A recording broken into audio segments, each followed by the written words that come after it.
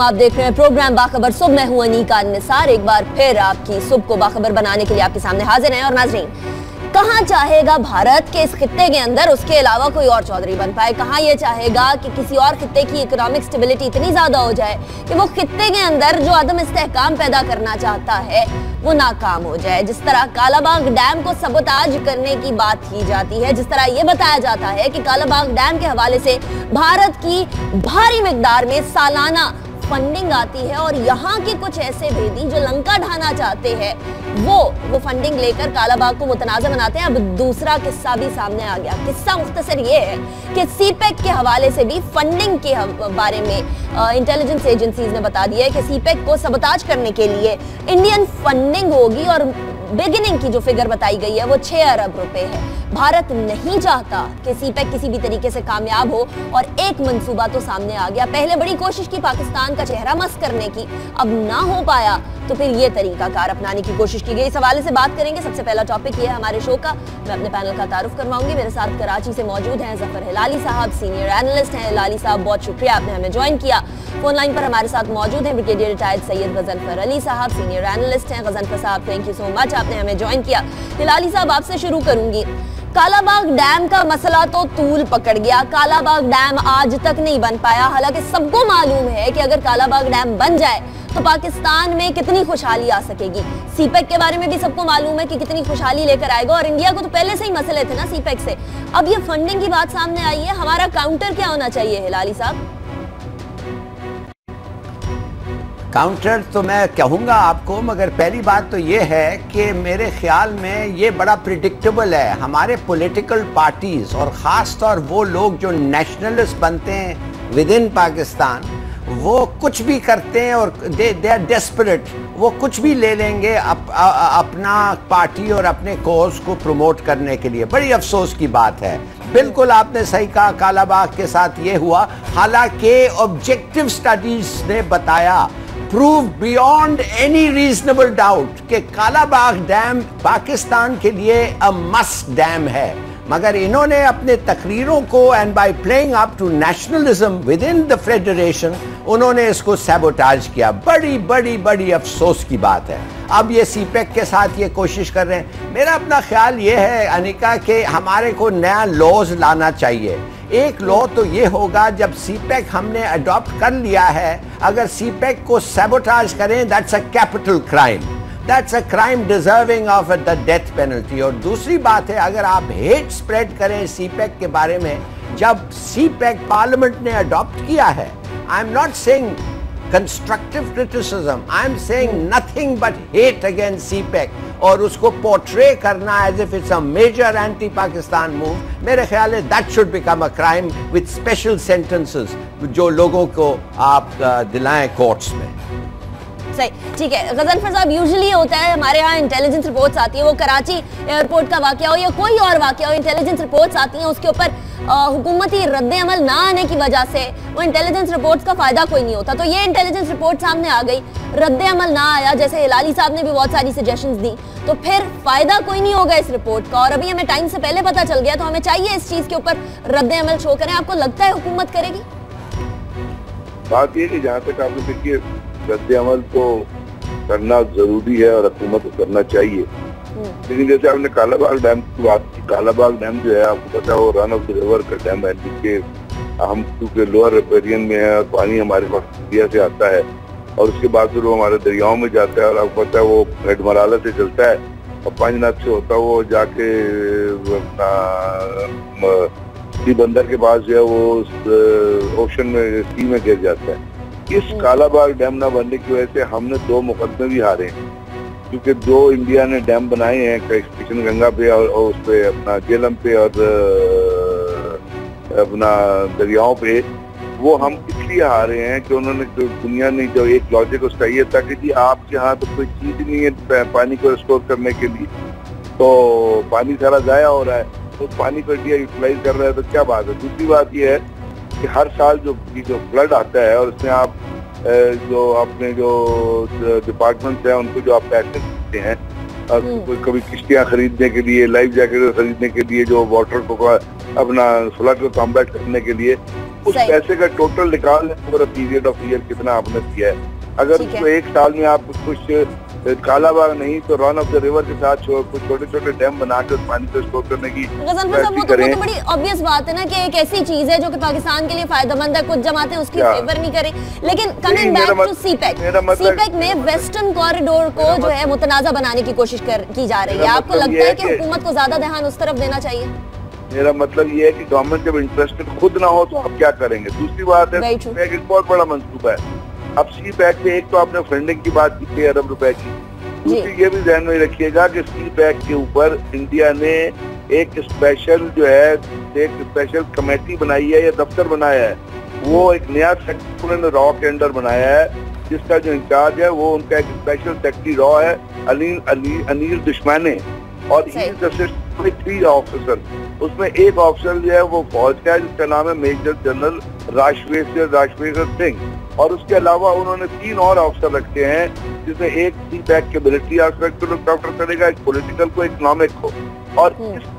इस सेटअप के बनाने का मतलब सी पैक को सेबोटाइज करना है और उस सेबोटाइज सेबोटाज में सिर्फ़ इंडिया में बैठ के कुछ नहीं करना उस सेबोटाज में यहाँ भी लोगों से रबते करने हैं। और उस रास्ते करने का सबसे बड़ा मतलब यह है कि सी पैक के ऊपर एक तो जो कुलभूषण जैसे लोग जो काम कर रहे हैं और दूसरा ये कि इसको मुतनाजा बनाया जाए। अब वो तो ये काम कर रहे हैं लेकिन आप हमारे यहाँ देखिए ना कि हमारे यहाँ रूट के ऊपर किस तरह जो है वो शुरू से लेके और आज तक ना हुकूमत सेटिस्फाई कर सकती है और ना ऑपोजिशन सेटिस्फाइड है। जैसे आपने वेस्टर्न रूट की ज़िक्र किया एक ईस्टर्न रूट है।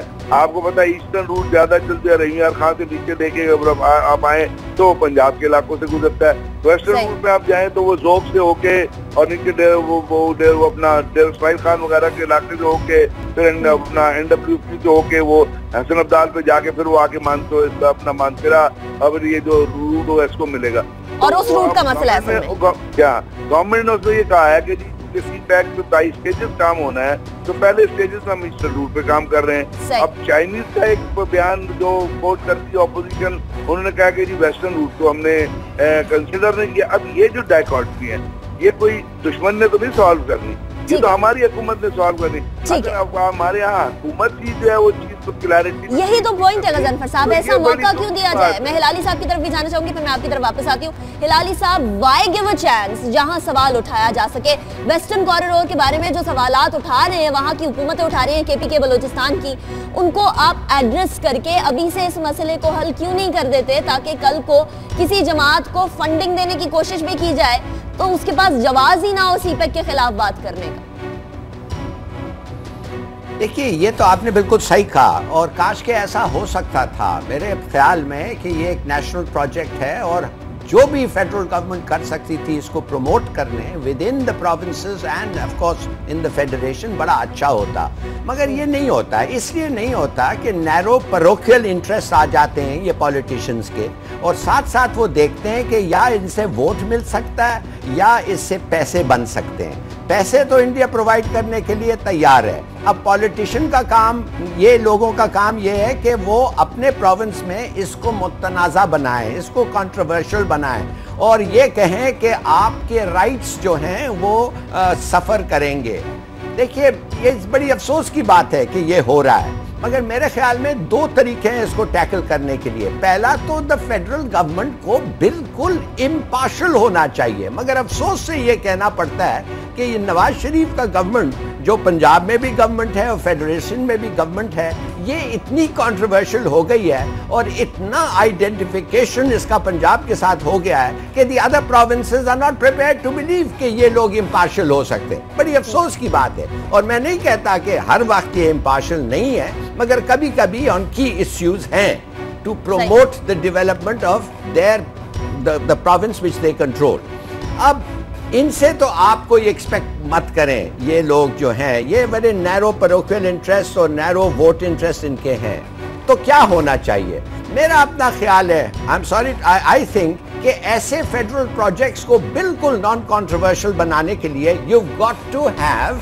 a federal approach माने एक अथॉरिटी होनी चाहिए, जिसमें फेडरेशन विदाउट एनी क्वाम्स इज़ द हेड ये अगर प्राइम मिनिस्टर के हाथ से निकालने की ज़रूरत है इसलिए कि उसका एक गवर्नमेंट है प्रोविंस में तो निकालें उसके हाथ से। सुप्रीम कोर्ट के तहत रखें इम्पार्शल कॉन्स्टिट्यूशनली सेटअप बॉडी के साथ रखें। इसलिए वो वो मेरे ख्याल में चाइनीज़ भी कह रहे हैं यार खुदा के लिए सीपेक को कंट्रोल करने के लिए एक ऐसा बॉडी बनाए विच इज़ कंट्रोवर्सी फ्री क्यों नहीं इस पे हम काम करते रिकग्नाइज के आपके मुल्क में क्या डिफेक्ट्स है।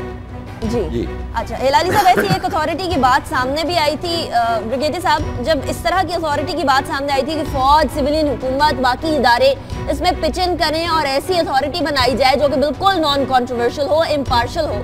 वो वाली अथॉरिटी तो मैं नहीं, लेकिन एक कमेटी बन गई नासिर जंजुआ साहब के अंदर, जिसके पास कोई अथॉरिटी नहीं है। कोई एडमिनिस्ट्रेटिव अथॉरिटी नहीं है, सारी की सारी जो है वो इंटीरियर मिनिस्ट्री के पास है तो फिर ऐसी कमेटी अथॉरिटी बनाने का फ़ायदा? उनका दो एंगल है इसके एक एंगल है जो चाइनीज़ बड़ी थे एक तो आपने कहा कि वो कहते थी पोलिटिकल स्टैबलिंग जो है वो खत्म करे। और दूसरी बात यह है कि पाकिस्तान एक और बहुत बड़ा मतलब था इस बात कलेक्टेड हुई थी कि जो लाहौर में येलो ट्रेन आ रही है तो जिसको उन्होंने कहा था कि ये सी पैक का हिस्सा है तो आप चाइनीज़ ने कहा ये सी पैक का हिस्सा तो नहीं है। दूसरी बात यह है कि जो आपने एडमिनिस्ट्रेटिव बात की एडमिनिस्ट्रेटिव भी ऐसे इकबाल और उनके जो उसके अंदर एक सूबे को खासतौर पर के पी के को एक्सप्लेन करने के लिए कमेटी बनाई गई। वहाँ पे जाके उन्होंने प्रेजेंटेशन दी। लेकिन हुआ क्या? वो प्रेजेंटेशन के बाद उनका सूबे का मसला ये है कि आपने प्रेजेंटेशन तो दी थी कि आप वेस्टर्न रूट और ईस्टर्न रूट लेकिन आपने उस पर काम शुरू नहीं किया। अब आठ सौ पचास किलोमीटर से एफ़ डब्ल्यू ने पाँच सौ तैतीस किलोमीटर रोड बना लिया है। दूसरी बात जो बहुत बड़ी थी वो चाइनीज़ का कंसर्न जो था वो था के हिसाब से। तो आर्मी ने अनाउंस किया था कि दस हज़ार की रेज करनी है। जिसमें उन्होंने एक मेजर जनरल भी पोस्ट कर दिया था और उसमें उन्होंने स्पेशल सिक्योरिटी डिवीज़न बनाया है।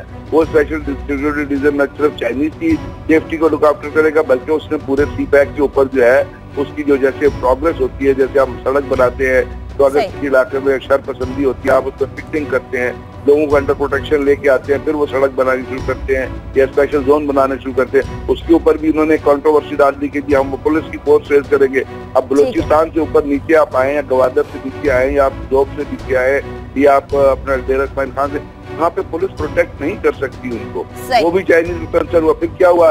चाइनीज़ एम्बेसडर जाके आर्मी चीफ को मिले और आर्मी पर आर्मी चीफ गए वहाँ पे चाइना गए तो वहाँ ये सवाल है उन्होंने वहाँ ये स्टेटमेंट दी कि जी फौज will look after the inter अब ये जो डायकॉट गवर्नमेंट में मुझे लगता है इसका इसमें दो चीज़ें एक तो लैक ऑफ़ विजन है और पर्सनलाइजेशन है। इन दोनों चीज़ों को खत्म करना पड़ेगा। और लैक ऑफ़ विजन जो है दूसरे टॉपिक करता है। ठीक है। ये दोनों चीज़ें इनको करना पड़ेगा। और जब सीपेक की बात है तो कौमी मफाद सबसे अव्वलीन तरजीह होना चाहिए। अगर फंडिंग की खबर आ गई है तो फौरी तौर के ऊपर इस पर एक्शन लिया जाए। क्योंकि इंडिया तो ऑलरेडी और अजीत डोवाल तो ऑलरेडी ये कह चुका है कि वहाँ के, या जो टेररिस्ट हैं, वो सिर्फ़ पैसे के भूखे होते हैं। उनको पैसा देकर पाकिस्तान के अंदर अनरेस्ट किया जाएगा। सीपेक के भी शुरू से खिलाफ हैं तो इंडिया से सीपेक को बचाने के लिए पाकिस्तानी हुकूमत को फौरी तौर पर तरजीही बुनियादों पर इकदाम उठाने होंगे। और इकदाम की बात करें तो पार्लियामेंट में मुश्तर इजलास में कश्मीर के हवाले से चंद इकदाम पे बात हुई। स्पीच की वज़ीर आज़म साहब ने। और उन्होंने ये कहा कि ऐसी ज़मीन जिस पर टैंक चला दिए जाएँ, उस पर लहलहाते खेत नहीं चले जाते बाद में। जब जंग हो जाए तो उसके बाद फिर फूल दोबारा नहीं उगाए जा सकते। ये तमाम चीज़ें पार्लियामेंट का मुश्तर इजलास के बारे में बात करेंगे। हिलाली साहब पार्लियामेंट का मुश्तर इजलास है, इमरान खान साहब है नहीं बाकी जमातें जो इतिहादी समझी जाती हैं, वो हैं, फिर पीपल्स पार्टी, आप समझते हैं कि मुश्तर पार्लियामानी इजलास वो चीज़ अचीव कर सका जिसके लिए वो बुलाया गया था?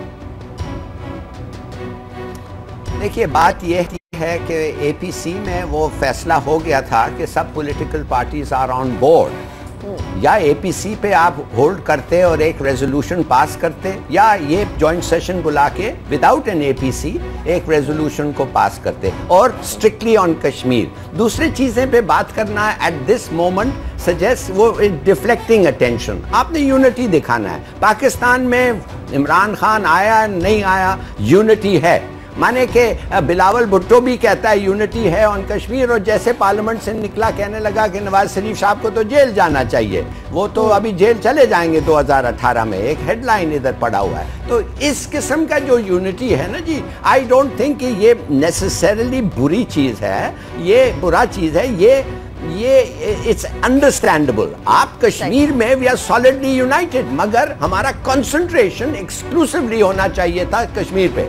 और दूसरी बात जो मैं देख रहा हूँ ये लीडर ऑफ़ द ऑपोजिशन इनका बैकग्राउंड तो हम जानते हैं ना ये. अब तो ये ऐसे बात कर रहे हैं प्रोफेसर ऑफ़ इंटरनेशनल रिलेशंस बन गए हैं ये. पता नहीं अशकंत के बारे में कहते हैं कि जीता हुआ जंग हमने जाके कॉन्फ्रेंस टेबल में हार गया.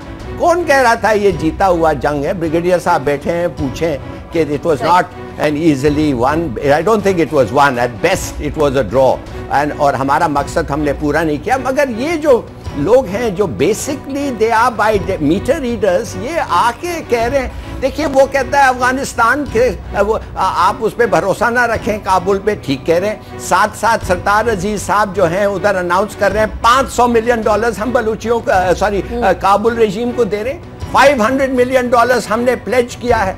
किस लिए? और गाली खाने के लिए।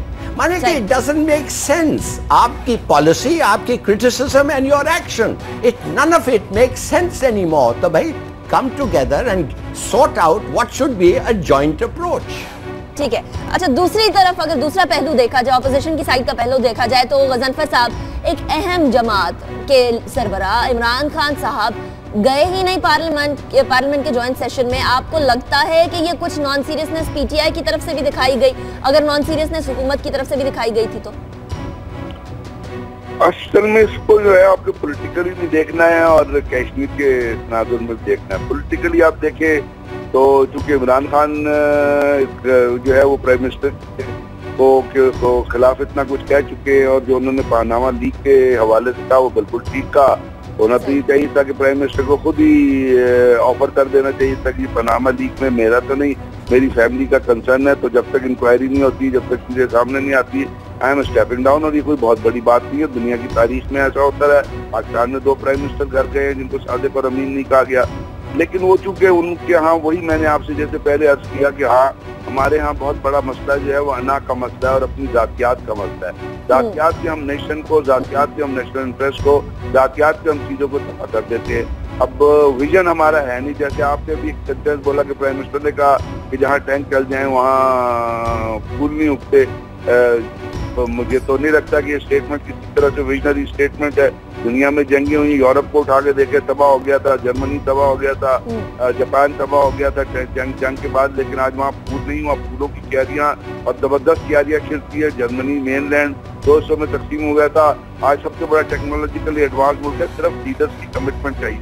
जो वीक लीडर्स होते हैं यस वहाँ पे नहीं होता लेकिन बाकी जगहों पे आपने हर चीज़ के लिए अपने आप को एक ज़ोर रखना होता है। हम्म। अब मेरे तो ख्याल में मेरी जाती राय में इमरान शाह इमरान खान जो है वो gone for the joint parliament session कि जी उसमें एक आपने कश्मीर पे स्टांस पेश करना था। लेकिन बात यह है कि ये जो आम चीज़ें जो प्राइम मिनिस्टर साहब अब अब कर रहे हैं ये उन्हें यूएनओ से जाने से पहले भी करनी चाहिए थी और तमाम लोगों को एडवांस एतमाद में लेना चाहिए था ताकि वो ज्वाइंट स्टांस पेश पेश करते। तो हमारे यहाँ जो जिस तरह हिलाली साहब ने कहा जिस तरह डिसजॉइंटेड चीज़ें होती है ना, जो किसी पॉलिसी पैरामीटर्स की नहीं आती, सिर्फ़। आपकी दिमाग की सोच पे आती है सुबह बैठे बैठे आपको ख्याल आता है कि जी क्योंकि चीज़ें इतनी सारी फलानी जगह से हो रही हैं तो हम ये कर लें। कल पैमरा अब जा रही है कि जी इंडियन मवाद बहुत ज़्यादा दिखाया जा रहा है और अगेंस्ट लॉ दिखाया जाए लॉ कहता है सिक्स परसेंट दिखाना है तो वहाँ पे यहाँ पे एट्टी फाइव परसेंट दिखाया तो अब वो जाती है। कि जी उसको तो हमारे यहाँ कोई एक कॉम्प्रीहेंसिव पॉलिसी हुकूमत को जो बना पॉलिसी कैसे होगी? गजनफर साहब आप कह रहे हैं कॉम्प्रीहेंसिव पॉलिसी नहीं है। आप फरमा रहे हैं कॉम्प्रहेंसिव पॉलिसी नहीं है। कोई पॉलिसी नहीं है। हिलाली साहब कॉम्प्रहेंसिव पॉलिसी कैसे आएगी? जब हम देखते हैं कि एक तरफ़ जाके सरताज अज़ीज़ साहब कुछ फरमाते हैं वज़ीर आज़म साहब कुछ फरमाते हैं उसके बाद फिर तारिक फातमी साहब का एक स्टैंड है यानी हर शख्स अपनी अपनी फॉरेन पॉलिसी चला रहा है। और वो एक एक कौमी धारे के अंदर हम लोगों को फॉरेन मिनिस्टर नहीं नज़र आ रहा जिसने इन सब चीज़ों को समेटना होता है। देखिए अगर फॉरेन मिनिस्टर हो या ना हो जैसा मेरा स्टांस ये है कि अगर एडवाइज़र को वाकई आप फॉरेन मिनिस्टर के पावर्स दें एंड यू बैक हिम आप कुछ नहीं होता। आपने एडवाइज़र रखा हुआ है और साथ साथ आधे पावर्स उसके किसी और को डेलीगेट कर दिए। ज़ाहिर है they will be a clash and they will be no unified unity in command having set that मैं कहूँगा अनिका, कि this government has fallen apart ये ख़त्म हो गया है। It's falling apart left hand को पता नहीं है राइट right हैंड क्या कर रही है। ये एग्ज़ाम्पल आपको मिल रहे हैं। एवरी डे आपको एग्जाम्पल्स मिल रहे हैं कि लोगों का सोच क्या है पार्टी का सोच क्या है और एक्चुअली क्या हो रहा है। एंड फ्रेंकली इनकी जो concentration they consumed by Panama they consumed by the political challenge इनका फोकस अब गुड गवर्नेंस में एंड गुड डिसीज़न में हो ही नहीं सकता, इसलिए कि इनका टेंशन और वरी बढ़ गया है। जैसे इन्होंने कहा, अगर इस कोई प्राइम मिनिस्टर में इतना भी थोड़ा सा ये होता, क्या कहते हैं I am sorry to say word shame वो अब तक इस्तीफा दे देते और कहते हैं, भाई, मैं तो बिल्कुल ईमानदार हूँ, मगर करो inquiry I am so confident कि मैं आ जाऊँ, जीत जाऊँगा। और देखिए अगर ये प्राइम मिनिस्टर इंक्वायरी के बगैर ही इमर्जेस विदाउट एनीथिंग मैं तो कहता हूँ ये टू थर्ड्स मेजोरिटी क्या थ्री थर्ड्स ले लेंगे? क्यों नहीं करते भाई? इसलिए लोगों को पता है कि वो नहीं कर सकते। लोगों को पता है गिल्टी लोगों को पता है झूठ है। तो कहने की बात सिर्फ़ ये है ऐसा नहीं चल सकता। और जितना जल्द से जल्द ये सिस्टम रैप अप हो इलेक्शंस हो नए गवर्नमेंट आए द बेटर राइट ठीक है। सीरियसनेस होनी चाहिए। में भी होनी चाहिए ऑपोजिशन में भी होनी चाहिए लेकिन सीरियसनेस का सही टाइम भी होता है। इसलिए क्योंकि ये एपीसी ये ज्वाइंट पार्लियामेंट्री सेशन अगर यूएन में जाने से पहले किया जाता तो शायद दूसरे लोगों से बहुत अच्छी सजेशंस मिल पाती। लेकिन इंडिया भी प्रोपागेंडा में कम नहीं आ, कर रहा। और इंडियन प्रोपागेंडा ये है कि यू के एक ऑफिशियल की ट्वीट को ईयू की जनरल स्टेटमेंट बताकर बताना। दूसरी तरफ़ सरताज अज़ीज़ साहब का ईयू के ऑफिशियल से मिलना और कामयाबी से मिलना ये एक चीज़ का सबूत है कि इंडियन प्रोपागेंडा कर रहे हैं और हम ऑन द ग्राउंड काम कर रहे हैं। ब्रेक की तरफ़ जाना है। ब्रिगेडियर गजनफर साहब, हिलाली साहब दोनों हमारे साथ रहिएगा। ब्रेक के बाद शो को कंटिन्यू करें।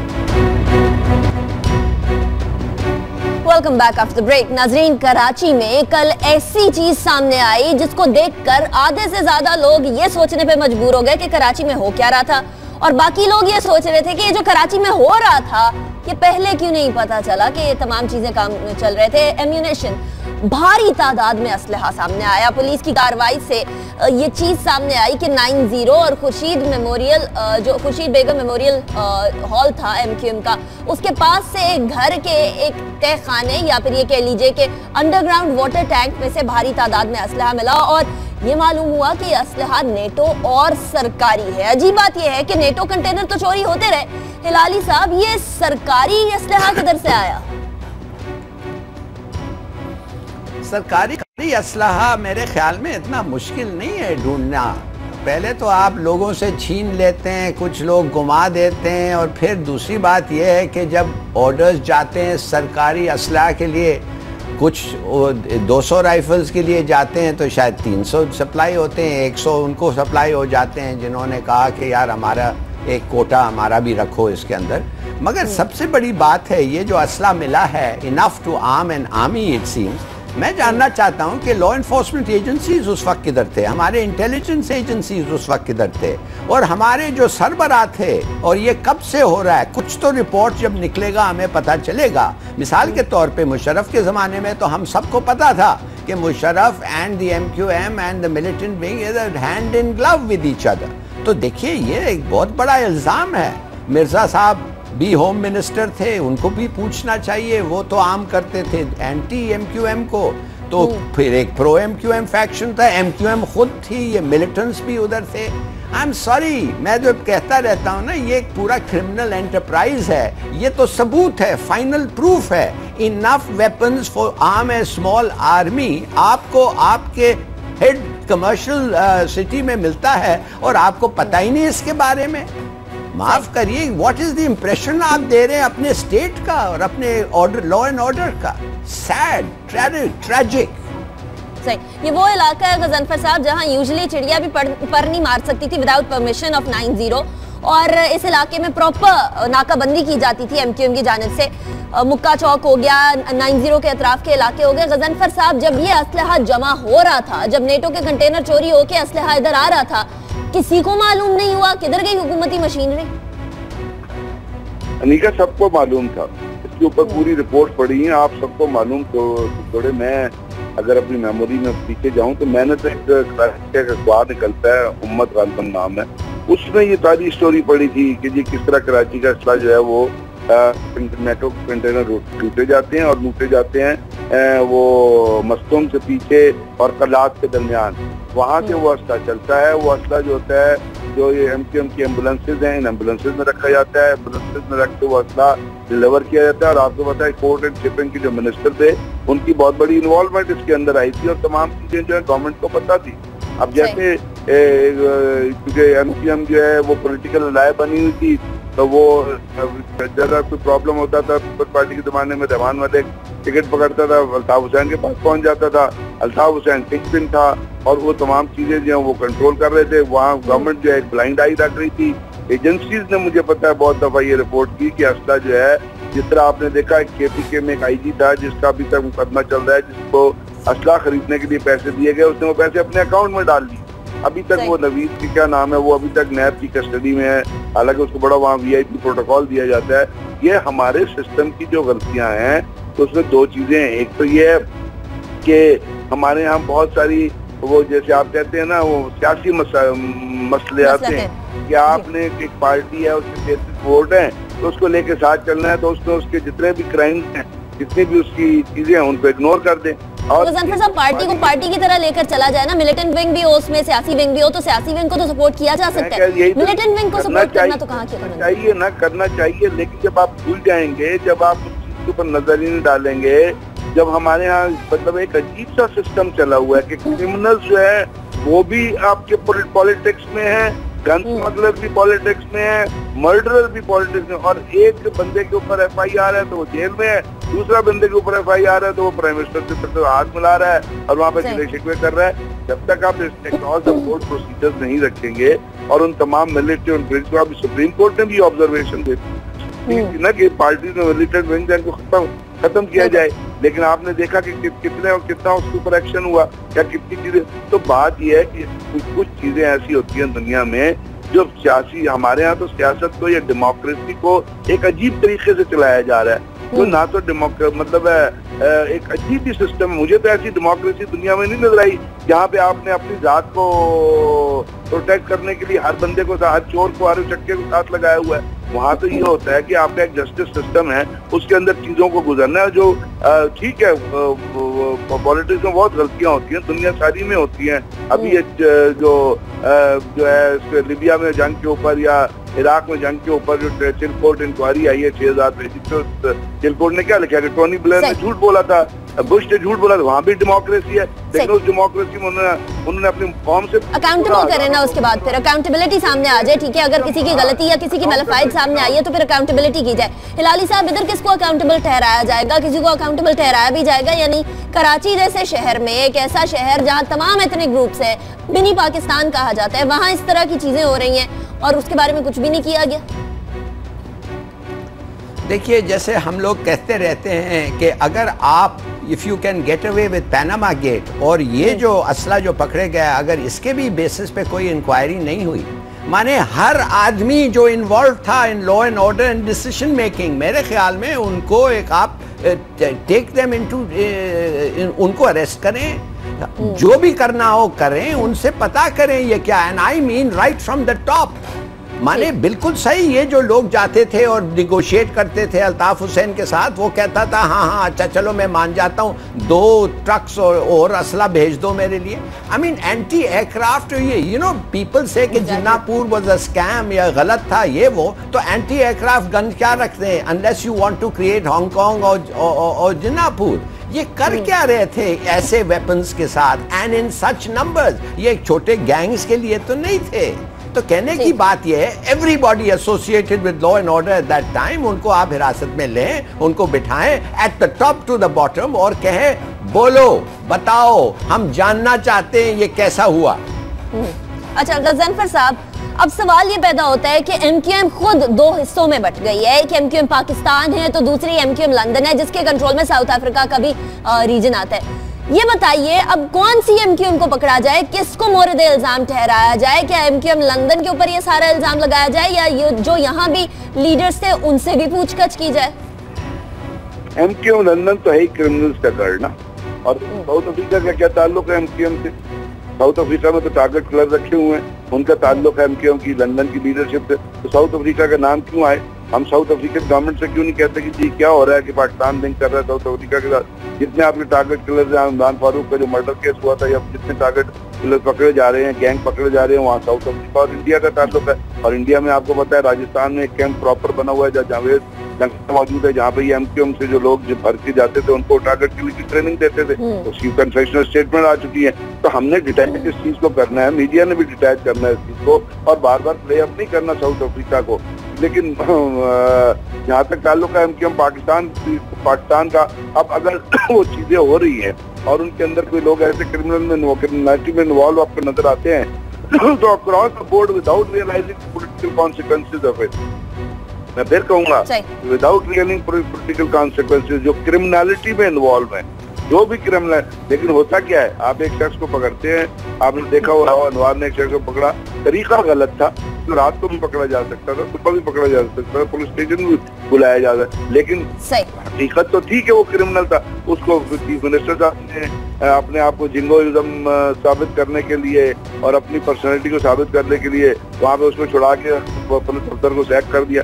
तो जब उससे पहले जब एमक्यूएम के खिलाफ जितनी वारदातें जन ज- नसीरुल्लाह बाबर के जमाने में जिस तरह एमक्यूएम की क्लेंजिंग की गई थी उसके बाद जब चली गई पॉलिटिकल मसलियत हो गई नवाज़ शरीफ साहब की सियासी मसलियत हो गई परवेज मुशर्रफ की सियासी मसलियत हो गई। आपने उनको शामिल कर लिया तो वो तमाम पुलिस अफसर जिन्होंने उनको उनको मार दिया गया। तो जब ठीक है हिलाली साहब भी कुछ फरमाना चाह रहे हैं। ठीक जी हिलाली साहब। देखिए देखिए देखिए क्या हो रहा है। एम क्यू एम जो है अल्ताफ हुसैन साहब जो हैं वो एक एसेट हैं। वो एम आई फाइव के एसेट हैं वो अमेरिका के एसेट हैं वो इंडिया के एसेट हैं। देखिए क्या खेल मज़ाक हो रहा है लंदन में।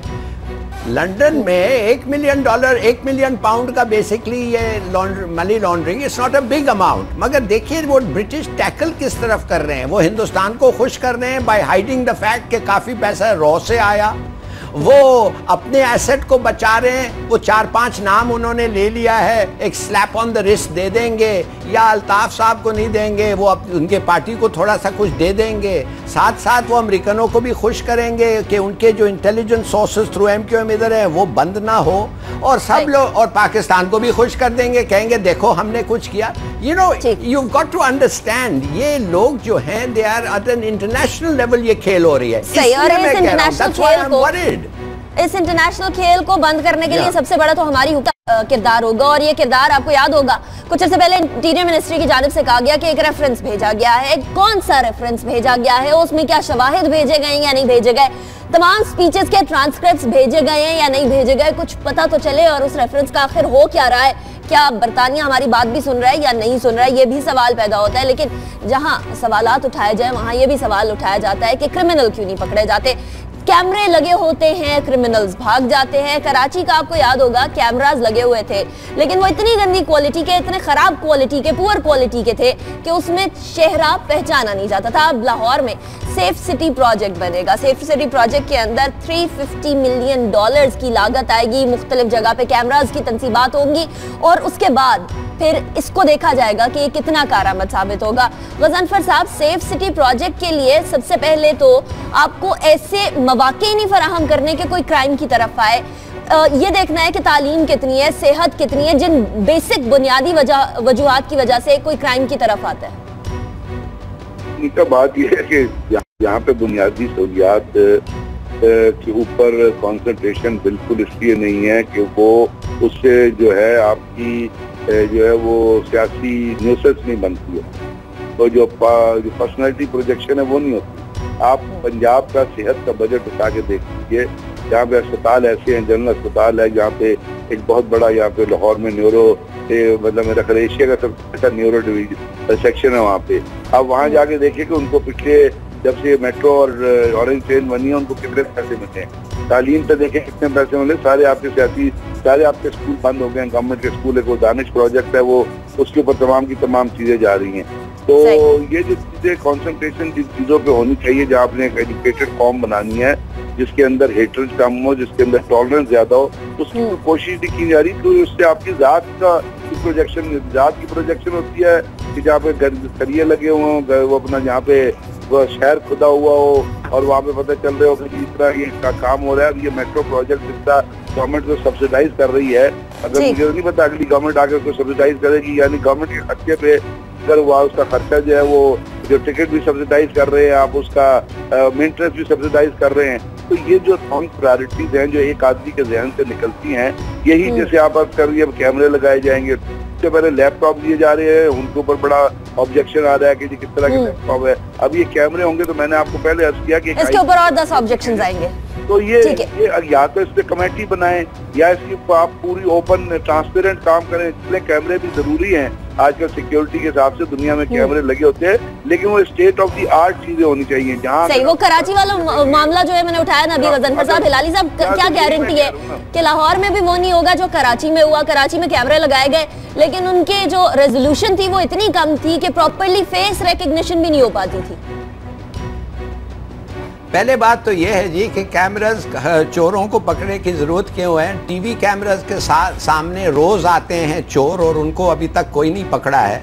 बड़े बड़े अहदे पे बैठे हुए हैं वो चोर और उनको कोई नहीं पकड़ा है। तो आप ये छोटे चोरों के ऊपर 350 मिलियन डॉलर खर्च रहे हैं। दूसरी बात, ना खाना, ना सेहत, ना तालीम, ना नौकरी और आप 350 मिलियन कैमरा पे। भाई ज़ाहिर है चोरी बढ़ेगी। जब ना नौकरी, ना खाना, ना तालीम, ना सेहत, फिर क्यों नहीं बढ़ेगी? और क्या देखेंगे आप? आवाम वही शक्ल आएगा कैमरे के हाई रेजोल्यूशन या नो रेजोल्यूशन वही शक्ल आपको नज़र आएगा जो बेचारा भूखा and driven to robbery most of them तो ये क्या बड़ी बात है? 350 मिलियन डॉलर आप एक शहर पे खर्च रहे हैं। ओ यार खुदा के लिए पाकिस्तान माफ़ी माँगता है। लाहौर में तुमने काफ़ी पैसे खर्च दिए हैं। पूरा पंजाब का बजट तो खर्च दिया है ना लाहौर में। शर्म नहीं आती है? और कितना खर्च होगे लाहौर को सेफ़ सिटी बनाने के लिए? अब मेरा ख्याल में 90 परसेंट तो रायविंड के बाहर वो लगेंगे।